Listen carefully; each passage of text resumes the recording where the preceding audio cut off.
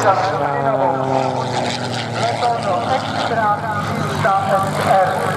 Rychlosti zhruba 200 až 300 km hodině, výkon motoru 300 hodin. Tak vidíte obrazy, řečeno ven, říkají kopané obrazy, to je technika. Podívejte, co se děje ve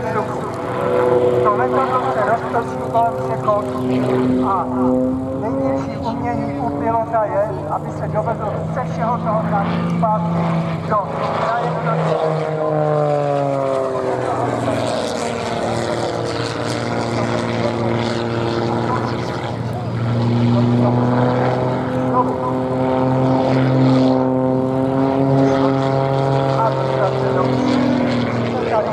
neuvěřitelná. Tento letoun, letoun Extra 300, je schopen kolem podélné osy udělat otočku za jednu vteřinu, udělá 380 380 za jednu vteřinu.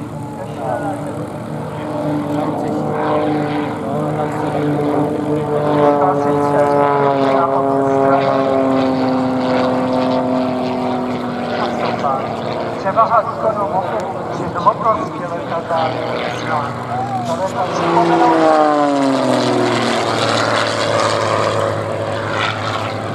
Když se díváme na tohle mistrovské létání, i výkony pilotů, kteří se zapsali do světové letecké akrobacie.